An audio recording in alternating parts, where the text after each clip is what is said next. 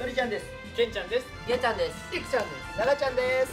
僕たちの遊び場。今回は2.5次元裁判。よっ。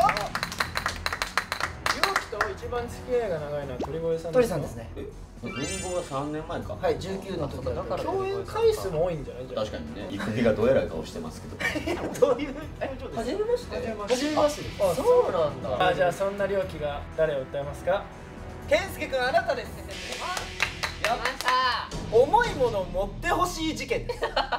重いものを持ってほしい。彼女やん。この前まで舞台「結婚しないの幼い三兄弟」っていう作品で共演していて、その作品の舞台が家のセットみんながそこに集まっていくみたいな。まあ僕とか健介君のキャラクターは外でこうコンビニかなんかで荷物を持った状態で入ってくるみたいな。で片方にはあとポテトチップスとかお菓子類が入った。り、うん。こっちは瓶のお酒とかが入ったやつでまあちょっと重さがある最初橋本翔平君と僕が持ってくるってシーンあったんですけどうん。翔平君はこっちの方が重いわはいっつって軽い方を渡してくれたんですよ優しかっこええってちょっと思ったですね、うそうびっくりしたんですけど、次のシーンで2人で持っていく時に全く同じ文言で「あこっちの方が重いわ入って重い方渡されたんです。その流れで来ちゃったから重いもの持たないんだと思って。どうです？それのほどねちっちゃい男だなですか？反論。まああの反論の言葉が未だかつてないぐらい見つからない。いや待って待って待って待って待ってちょっと待って。までもさいシーン的にシーン的にシーン的にキャラクターがあって奈良原っていう役があって。だ健介みたいなやつね。そうそうそう健介君。まあ当て書きみたいなもんよあれ。じゃあ健介そうそう。だから 正解でしょ？だからもう反論すんなってこもうあの裁判長に判決を任せますか？みんなを混乱させんといてとそう健介君はねカメラに向かって持つよみたいな。練習ねもうシチュエーションシチュエーション。一回やっとけばもう本能でね。そうとっさの時出てきますからね。あそれ持ってんの？重い重そうだ俺持つわ重いの？ちょっとやっぱ。無理や。こうなっちゃう。無理や。こういうシチュエーションでも無理なのかあかんじゃあ続きまして。誰を訴えますか？続いて訴えるのは。鳥さんあなたです。俺は根深いよ。ドキドキさせないでほしい事件です。まあでも人生ってドキドキなはいはい反論反論がないと事件内容聞いてから反応してもらっていいやっですか？ぱドキドキしないとね。まあ今はみんなでなかなかご飯とか行くね機会が少なくなりましたけど昔はこうみんなでねお仕事の終わりでご飯行ってたじゃないですか。やっぱそういう時の鳥さんってお酒に対してのリミッターが外れるというかまあ文豪ストレドックスっていう作品で名古屋に行った時の話なんですけど、まあ3次会ぐらいですね。みんなで飯食ってるんですけど、鳥さんが急に静かになったんですよでおまあおかしいなと思ってちょっとせ鳥さんに背向けながら喋っててで鳥さんどうですかってこうパッて話が鳥さんに言った時にその時共演してた上田佳祐さんが愛用してるサングラスを口の中に突っ込んだまま遠い目をされてて。やばい。まあ、圭介さんが怒るわけないけどドキドキしちゃうんですよ。後輩からしたら「大丈夫大丈夫ですか?」みたいな。みたいなことがやっぱちょっと多々あるのでなるほどね。後輩たるものさやっぱ先輩によく突っかからんと。で俺もやっぱ突っかかっていい時と怒られる時あるしそうやって人間学んでいくから。後輩がさ上ちゃんよしよしよしよししてるやん。後輩も上ちゃん上ちゃん言ってるやん。やっぱそんな後輩ばかりじゃあかんなと思って。やっぱ上ちゃんの大事なサングラスを口の中に突っ込んでくれがちょうどいいやん。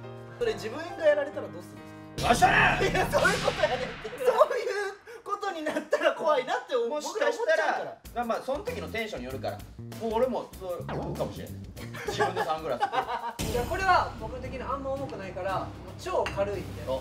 今カメラの前であの胸がドキドキって言ったじゃないですか。そのパーカーでやってください。あドキドキ胸がドキドキってやってほしい。お前小学校以来ですよこんなんやった。ら one, two, three、ドキドキ、胸がドキドキ。ドリさん、ドキドキ、ハッピーバースデー。全然ハッピーバースデー言っちゃうかもしれない。ほんまいいあのお恥ずかしさでしたね。続いてまだあるかあればあじゃあゆうたろうくん。おまんべんなくいこう。あれ？俺のことどう思ってる事件？お？まあお互い22歳で。同い年。はい、二十歳の頃共演したんですけど、うん。この2年間でツイッターとかでは絡むんでちゃんと LINE をしたことがなくて。僕何回か街で見かけてるんですああよそうね。ゆうたろうくあんのこと原宿とかでも見たことあったし。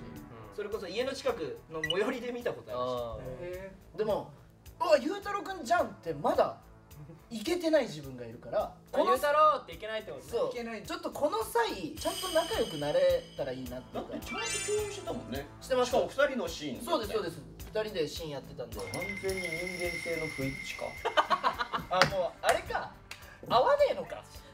僕の意見としてはやっぱちっちゃい頃から見てるわけですよ。もう全盛期なわけですよ。ね。で同い年って知ったのがそこで僕は。ああなるずっとほどね先輩かと思ってた。自分がそのちっちゃい頃からテレビに出てるってイメージ、うん。で芸歴ではね。から生きづらいなっていう。僕もあるんですよ。僕ファッションに興味自体はあるけど、うん。どうしていいか分かんなかったりとか、はいはいはい。僕がそれこそ、えっと、テンテレを卒業してから舞台をやり始めたぐらいにもうゆうたろうくんはファッションに対しての興味があったしそれにで露出もあったから、ゆうたろうくんが僕を見てるのと同じように僕もこの子同い年なのに自分の価値観とか自分の好きなファッションっていうものをちゃんと持っててすごいなってのがあるからだからこれはあれやな。あの結果としてはオフホワイトや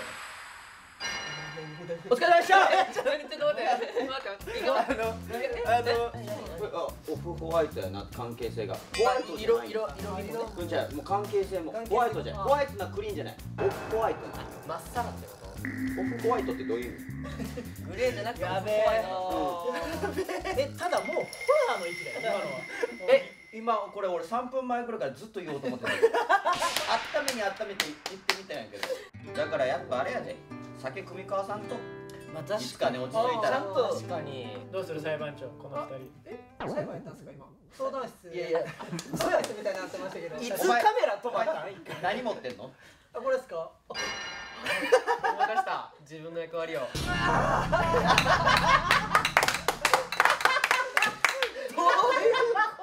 そこで関西になってくるんだよ。どないした？同盟みたいなの作ったら仲良くなるみたいなのあるやん。そうもね僕たち。あすごい決め最高の決め顔で。よしよし使われた。オフホワイト使われたここでいいですか？ここで。これ次第だはい。僕たちオフホワイト。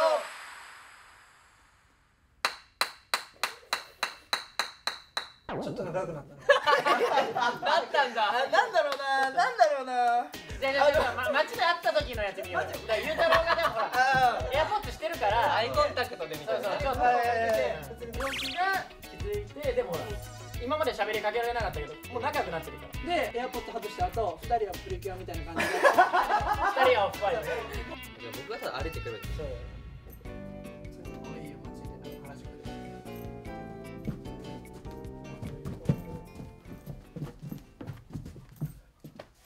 せーの僕たち。